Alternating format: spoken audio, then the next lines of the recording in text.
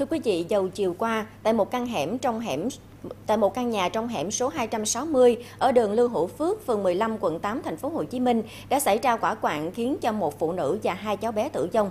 Cơ quan công an đang tập trung lấy lời khai của nghi can Nguyễn Văn Nhu, 28 tuổi, quê ở Hà Nam để làm rõ các tình tiết liên quan đến vụ việc. Tại cơ quan công an, bước đầu Nhu khai nhận đã ra tay với chị Dê và hai đứa trẻ do xuất phát từ mâu thuẫn tình cảm. Khoảng 16 giờ 30 phút chiều qua, Nhu đi xe máy chở theo canh xăng đến nhà của chị Dê. Tại đây, Nhu đã dùng dao sát hại chị Dê, rồi bỏ xăng ra nền nhà, khóa trái cửa, châm lửa phóng quả, nhốt chị Dê và hai đứa trẻ bên trong.